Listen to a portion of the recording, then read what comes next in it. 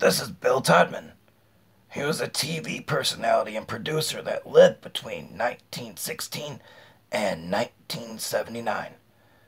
He produced a long list of game shows with Mark Goodson as Goodson Todman Productions.